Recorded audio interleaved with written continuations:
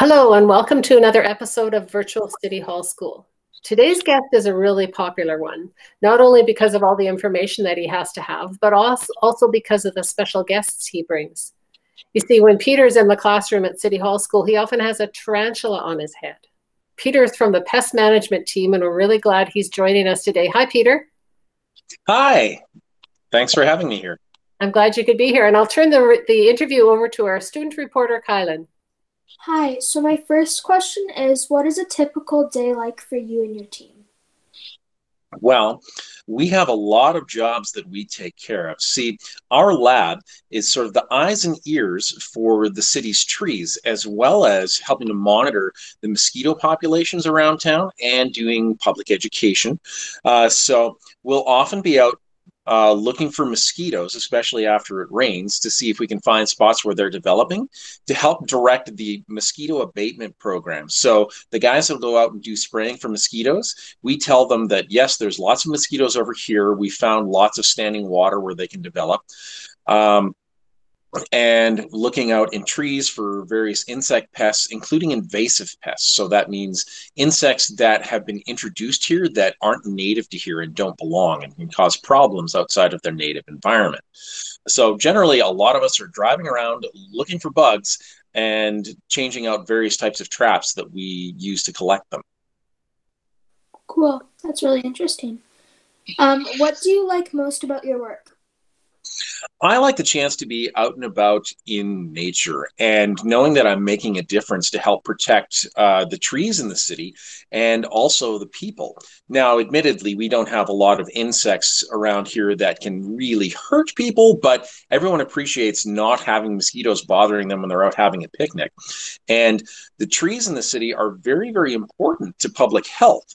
Um, trees improve air quality and people's overall quality of life more than you might think. And so making a difference with the trees makes a big difference with uh, everyone's appreciation of being outdoors. But uh, more than just feeling useful, I like the chance to just be out in nature and poking around. And honestly, getting paid to catch bugs is pretty awesome as far as I'm concerned. That's really cool. Um, I like that answer. What do mm-hmm. you say to people who think insects and spiders are, are pests or scary? Well, unfortunately, that kind of thing comes up a lot because in our culture, we're kind of brainwashed from the time that we're babies to think these things are gross. And it's unfortunate because insects and spiders are very, very important. Now, people like to think that we run the world. And in many ways, we do.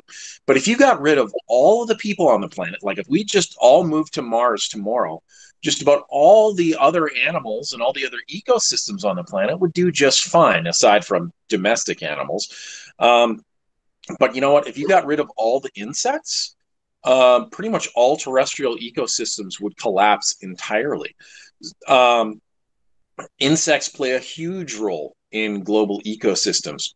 Did you know that if you took all of the vertebrates in the world, uh, so all of the people and all of the dogs and whales and birds and fish, um, and stacked them on one side of a scale and put just ants on the other side, uh, scientists think that the ants would be about five to 10 times heavier than all of the vertebrates put together. Uh, so yeah, we have a bit of an inflated opinion of ourselves, but uh, insects, they really run the world as far as I'm concerned. And we should respect that. I never ask anyone to have, you have to like insects because it's hard to get over those kind of feelings when you've had them ingrained into you from the time you were little. But recognize that they're really, really important and we depend on them for the world to keep running, essentially. Okay. Um, what does the city of Edmonton? Uh, how does the city of Edmonton work to control mosquitoes? Well, uh, as I mentioned earlier, uh, my lab um, various other coworkers of mine, we go out to monitor uh, mosquito development in temporary water. See, mosquitoes, to avoid predators, they breed in temporary bodies of water. So essentially, just like puddles out in fields. In some cases, they can go from egg to adult in six days under ideal conditions. So they don't need a whole lot of time. And if they were to breed in big ponds, then they'd have all sorts of other things that could eat them.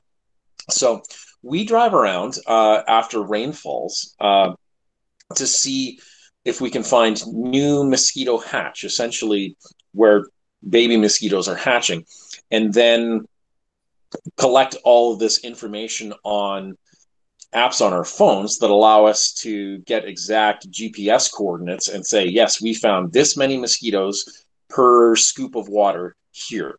And then the pest operations crews go around with uh, pesticides to target mosquitoes specifically and try and go after all of those particular temporary pools. Uh, and the pesticides that they use will only target aquatic fly larvae. So they have uh, no real effect on the rest of the animals in the ecosystem. So it's very, very safe. And in the event that we don't find enough mosquitoes, then the pest operations crews don't go out and spray. They don't do it just because there has to be a certain threshold of mosquitoes that they that are met before they'll go out and do the work. Nice. Okay. Um, are there certain diseases that our trees can get from insects?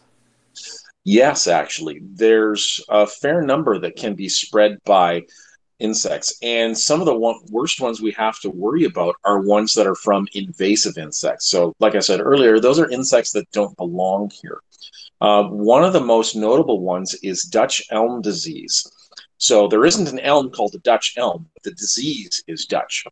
So, what happens is they're little beetles that can fly around and spread this fungus, and the fungus is what causes Dutch elm disease. Underneath the tree's bark, there's a living layer that transports water and nutrients up and down through the tree's trunk and through the branches. And this fungus, if it gets in the tree, will sort of fill all of that up and and choke off the transport of the water and nutrients and kills the tree fairly quickly. And there isn't any cure for it. Unfortunately, the only thing you can do is chop the tree down and make sure that it's properly disposed of so the disease can't spread. Edmonton has the largest stand of elm trees in the entire world that is uninfected with Dutch elm disease. And about a third of the boulevard trees in Edmonton are elm trees. So we have a lot of trees that we need to protect here from Dutch elm disease. Now, we haven't found Dutch elm disease in Edmonton yet, thankfully but the beetles that can spread them are here. And so our lab puts out various traps to look for the beetles so that we know where there's mm-hmm. concentrations of them. Um, so in uh, yeah, we'll go out look for the beetles, and when we find uh, there's a fair number in this neighborhood, then we can go look to see if there's sick elm trees that need attending to. Awesome. Well, thank you. Those are great questions and interesting answers to learn about the pest management team. So my challenge for you today, students that are watching, is to get outside and explore and look for some of these urban critters. Maybe you'll look under a rock or on a sidewalk or in a garden. Instead of being a bird watcher, be a bug watcher today. And if you decide to catch a bug and look at it for a while in a jar or something like that, that's fine. It could be quite interesting, but make sure you do let it go. Maybe you want to catch some of the bugs on, in your journals by writing about what you see or drawing what you see. Maybe your exploration and your curiosity will lead you to become an entomologist, and you'll want to learn more about their life cycles and habitats. Thanks for watching. Bye, Peter. Bye. Thanks for having me.